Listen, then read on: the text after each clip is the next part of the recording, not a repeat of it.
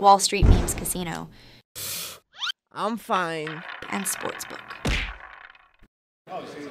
Andrew McCart, IFL TV. I'm here in Edinburgh, my home city, and I've got one half of this mega fight Taylor against Catterall 2, the rematch. Jack Catterall. It's been a long time coming, two years in the making after the first fight, uh, a fight you've been wanting for the best part of two years.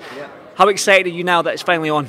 Yeah, I'm excited. Uh, we announced it back in the last week. We're Monday now at the press conference. Uh, the posters are and we're about to do the first head-to-head, so it feels real now. It's uh, it's exciting.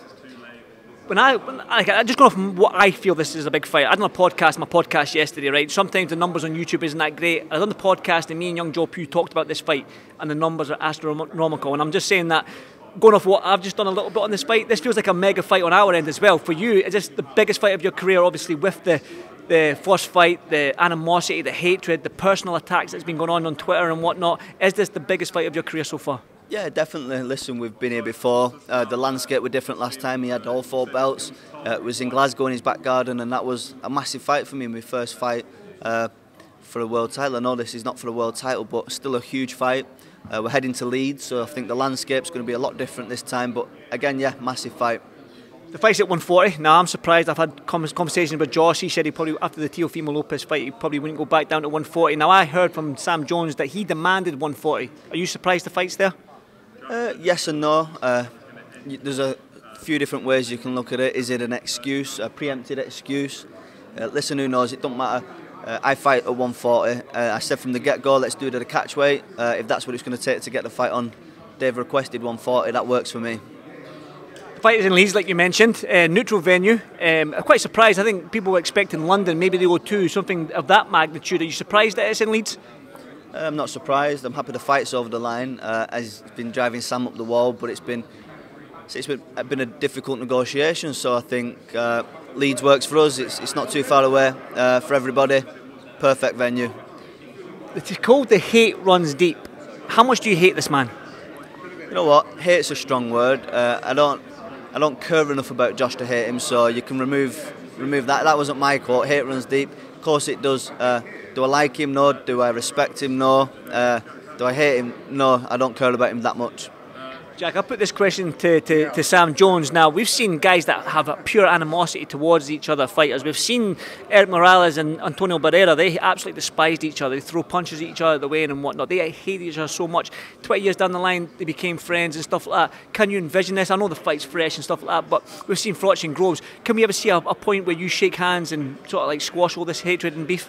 Right now, no. Uh, I can't tell you what the future holds for Josh or me, but uh, there's been a lot of back and forth over the last two years. Uh, and you know what? That needle's there, and it's good. It's given me that fire. I'm excited to fight him. I want to beat him.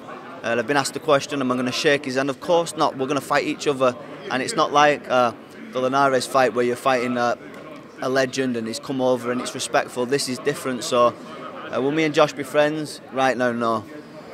Jack, I've got to ask as well, obviously, dance partners, boxing needs dance partners. Eddie Hearn, he mentioned to me that he needs the storyline out with the product in the ring. Do you know what I mean? The fight's there. The fight's always good, but we need that storyline with the you and Josh. We've got that storyline, and it's something that the, the fans can get engrossed in as well, can't they? Yeah, I think I said it on my caption the day. I'm getting asked every day. I've had two fights since the Taylor fight. I had a lot of support and a lot of uh, congratulations, but I'm still getting asked, is this fight happening? Are we going to get the rematch? Uh, and it's it's a bit of a relief to have the date now, the venue, and I can finally put it to bed.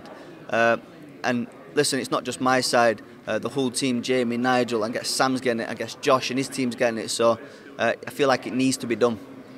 What's going to happen in this press conference, Jack? Uh, I've known you for long enough. You don't say much. Um, you're quite a calm guy when it comes to these sort of press conferences and weigh-ins and, and whatnot.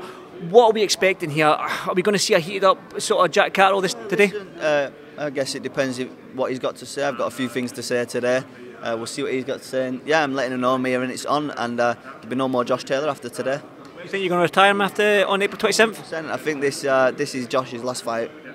And by that, on April 27th, you said that you're going to knock him out. Is that the case? God? Is that the sort of like the not the game plan, but is that the hope and want in this fight is to stop Josh Taylor? Yeah, I think that's what I'm capable of. I think uh, I think I'm coming there. I'm coming to do damage. I'm going to come to knock him out. If I don't knock him out, I'm going to beat him every round, beat him around the ring, and he's going to retire after this fight. Jack, as always, pleasure to see you, my man, and welcome to Edinburgh, man. See you soon. Thanks, Jack. Wall Street Memes Casino. I'm fine. And Sportsbook.